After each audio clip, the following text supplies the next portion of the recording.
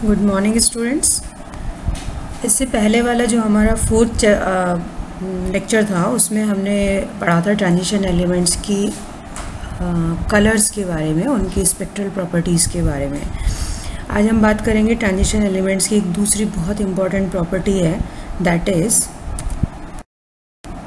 magnetic property magnetic property जैसा कि आपको पता है कि मैग्नेटिज्म किसकी वजह से होता है? अनपेड इलेक्ट्रॉन की वजह से।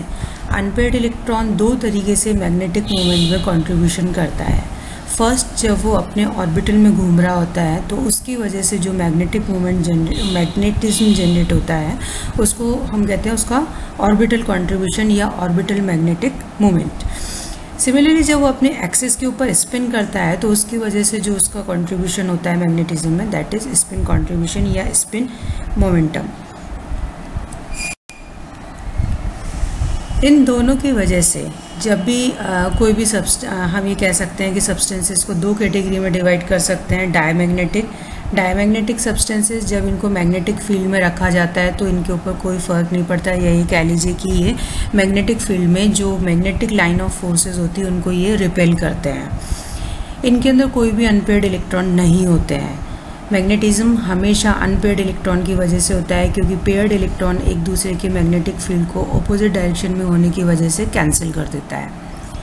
दूसरे सब्सटेंसेस होते हैं पैरामैग्नेटिक सब्सटेंसेस जो कि मैग्नेटिक फ़ील्ड में रखे जाने पर उसकी तरफ़ अट्रैक्ट होते हैं। इनके अंदर अनपेड इलेक्ट्रॉन्स होते हैं। सो so, हमारे ट्रांजिशन एलिमेंट्स और उनके कंपाउंड्स जिनके अंदर अनपेड इलेक्ट्रॉन होते हैं वो पैरामैग्नेटिक होते हैं। आपने देखता देखा अधिकतर कंपाउंड्स या transition metal ions transition metal ion जिनके अंदर के अनपेड इलेक्ट्रॉन है वो पैरामैग्नेटिक होंगे। अब पैरामैग्नेटिक सब्सटेंसेस भी मतलब जब हम बात कर रहे हैं कि जो हमारे ट्रांजिशन मेटल आयंस हैं, जिनके अंदर के अनपेड इलेक्ट्रॉन हैं तो ये पैरामैग्नेटिज्म कई तरीके का हो सकता है। फ़र्स्ट कैटेगरी होती है जिसमें अनपेड इलेक्ट्रॉन तो है, लेकिन वो अपने आप को, जिनका ओरिएंटेशन फिक्स नहीं है रेंडमली ओरिएंटेड है। तो ऐसे सब्सटेंस रूम टेम्परेचर के ऊपर तो मैग्नेट नहीं होते हैं, लेकिन जब उनको मैग्नेटिक फ़ील्ड में रखा जाता है तो मैग्नेटिक फ़ील्ड से अट्रैक्ट होते हैं।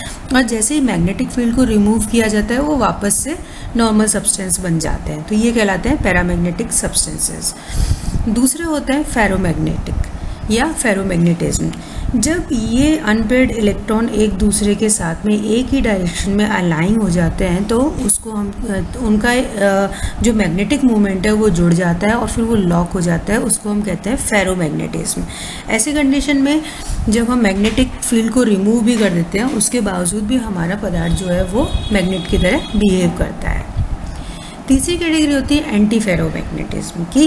अनपेड इलेक्ट्रॉन तो हैं, लेकिन उनका ओरिएंटेशन इस तरीके से हो रहा है कि वो एक दूसरे को अपोजिट कर रहे हैं। एक एटम अगर क्लॉकवाइज डायरेक्शन में है तो दूसरा उसका एंटी क्लॉकवाइज डायरेक्शन में होगा।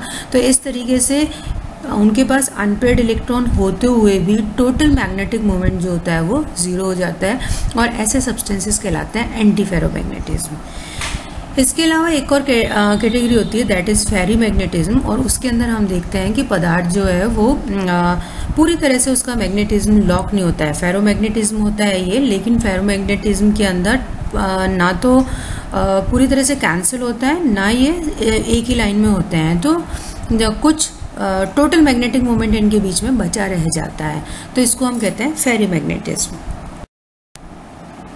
अगर इनको टेम्परेचर के साथ स्टडी करना चाहें कि paramagnetism anti ferromagnetism and ferromagnetism ये टेम्परेचर के साथ किस तरीके से चेंज होते हैं तो हमें पता है पैरामैग्नेटिक सब्सटेंस के अंदर जो मैग्नेटिक ससेप्टेबिलिटी इकाई मैग्नेटिज्म को मापने की इकाई है मैग्नेटिक ससेप्टिबिलिटी तो मैग्नेटिक का ही टेम्परेचर बढ़ने के साथ साथ कम होती जाती है पैरामैग्नेटिक सब्सटेंसेस की। क्यों होती है?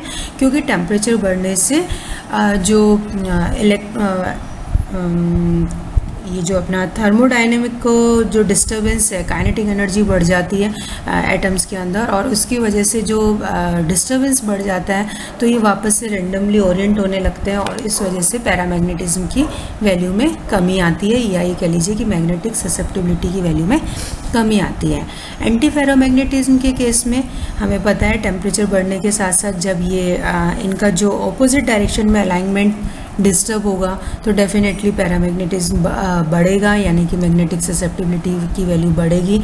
और एक पॉइंट होता है, जिसे नील पॉइंट कहते हैं, उसके बाद ये हमारे एक पैरामैग्नेटिक सब्सटेंस में कन्वर्ट हो जाएगा। फेरोमैग्नेटिक सब्सटेंसेस के अंदर मैग्नेटिस मैग्नेटिक ससेप्टेबिलिटी काई की वैल्यू बहुत हाई होती है और जैसे जैसे टेम्परेचर बढ़ता है अगेन यहाँ पे भी डिस्टर्बेंस होता है और मैग्नेटिक काई की वैल्यू में कमी आती है और एक पॉइंट होता है क्यूरी पॉइंट उसके बाद ये नॉर्मल पैरामैग्नेटिक सब्सटेंस में कन्वर्ट हो जाता है। हमारे ट्रांजिशन एलिमेंट्स ये सारी चीज़ें शो करते हैं। मतलब मैक्सिमम पैरामैग्नेटिक तो है ही। इसके अलावा ये ferromagnetic and anti ferromagnetic behaviour भी शो करते हैं। सो so, हमारे iron cobalt and nickel these are ferromagnetic substances anti ferromagnetism occurs in several simple salts of iron plus three Mn plus two and gadolinium plus three One important thing about ferromagnetism and uh, antiferromagnetism is this. Since these are related with the orientation.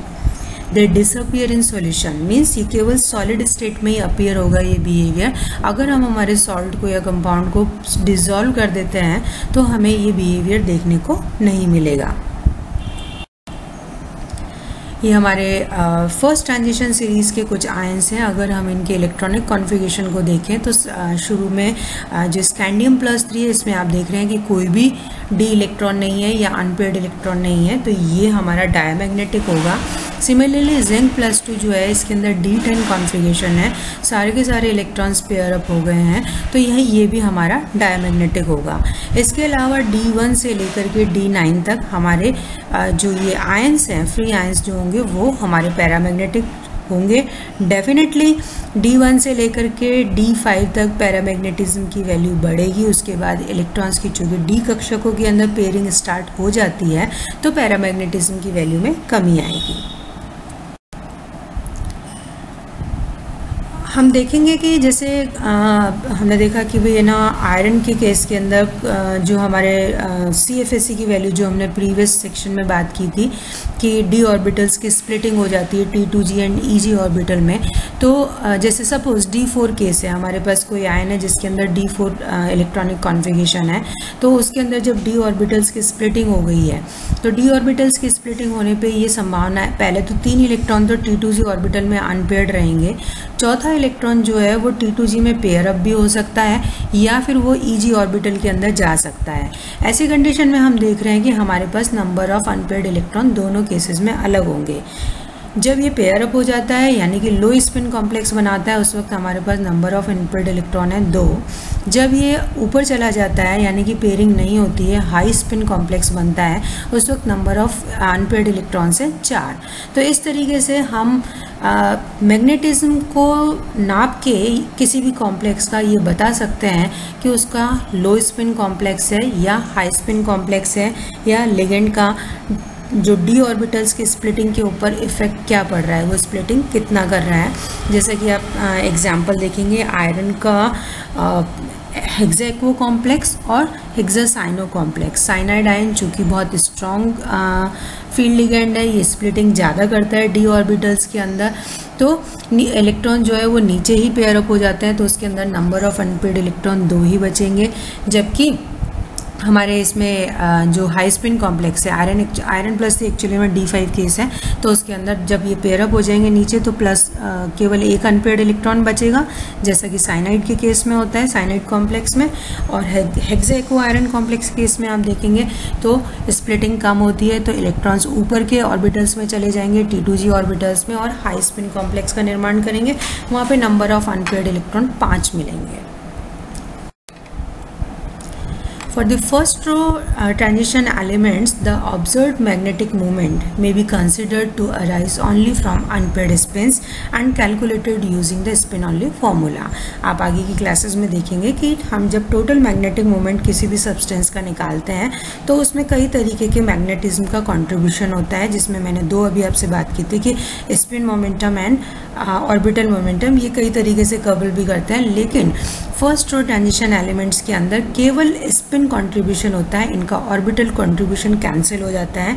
इस behalf पे हम इनका जो magnetic moment mu है, वो spin only formula से calculate कर सकते हैं। That is mu is equals to under root four S S plus one और अगर यहाँ पे एस जो आप देख रहे हैं कैपिटल एस है, ये टोटल स्पिन क्वांटम नंबर है। Total spin quantum number means total unpaired electrons की जो स्पिन है, जो प्लस या माइनस हाफ़ होती है, वो ऐड हो जाती है और इस तरीके से हमारे को total spin quantum number S मिलती है कैपिटल एस इसको हम अनपेड इलेक्ट्रॉन से कोरिलेट करें तो mu is equals to under root n n plus two mu B Bohr magneton इसकी यूनिट होती है। स्पिन ऑनली फार्मूला की मदद से जब हम ये कैलकुलेट करते हैं कि जो हमारे ट्रांजिशन मेटल आयंस हैं, उनके कैलकुलेटेड वैल्यू क्या होनी चाहिए? अगर ये d one d two d three d four cases हैं तो calculated value spin only formula से हमारी इसमें आती है बीच वाली लाइन आप देख रहे हैं कॉलम ऑब्ज़र्व वैल्यूज़ जो होती हैं, वो इस रेंज में लास्ट कॉलम में हम देख सकते हैं क्लियरली कि जो ऑब्ज़र्व वैल्यूज़ हैं, वो कैलकुलेटेड वैल्यूज़ से काफ़ी हद तक मैच कर रही है। इट मीन्स हम ये कह सकते हैं कि फ़र्स्ट रो ट्रांजिशन एलिमेंट्स की कंपाउंड्स में कॉम्प्लेक्सेस के अंदर हमारा ऑर्बिटल कंट्रीब्यूशन लिगेंड से कैंसिल हो जाता है। केवल स्पिन कंट्रीब्यूशन रहता है। मैग्नेटिक ससेप्टिबिलिटी जो हमने बात की कि मैग्नेटिज्म को तो इनको मैग्नेटिक ससेप्टिबिलिटी को मेज़र करने के लिए गॉयज मैग्नेटिक बैलेंस काम में ली जाती है। इसमें हम सब्सटेंस को एक कैपिलरी में फिल करके और मैग्नेटिक फ़ील्ड में लटकाते हैं। कैपिलरी जो है, वो एक साइंटिफिक बैलेंस से अटैच रहती है और जब उसको मैग्नेटिक फ़ील्ड में लटकाया जाता है तो उसकी वेट में जो चेंज आता है, उसको हम इस बैलेंस से मेजर करते हैं और इस तरीके से हम मैग्नेटिक ससेप्टिबिलिटी का ही कैलकुलेट करते हैं। अब हम बात करेंगे ट्रांजिशन एलिमेंट्स की last and very important property that is catalytic activity मैंने स्टार्टिंग में बताया था कि जो ट्रांजिशन एलिमेंट्स हैं, ये वेरिएबल ऑक्सीडेशन स्टेट शो करते हैं। वेरिएबल ऑक्सीडेशन स्टेट शो करने की वजह से इनके बहुत सारे compounds and even metals in metallic state these are very good catalyst और इंडस्ट्री में इनका बहुत यूज़ होता है। कुछ एग्जाम्पल्स हम बात करेंगे T I C L four जैसे कि आपने सुना है Ziegler Natta catalyst Ziegler Natta catalyst titanium tetrachloride और ट्राईथाइल एल्यूमिनियम का मिक्सर होता है। एंड एथिलीन पोलीमराइजेशन में इसका बहुत यूज़ होता है। इसकी स्टीरियो केमिस्ट्री इसके अंदर मेंटेन रहती है। V2O5 converts SO2 to SO3 in the contact process for making H2SO4. So V2, uh, V2O5 एक बहुत अच्छा कैटलिस्ट इस कॉन्टेक्ट प्रोसेस में यूज़ किया जाता है।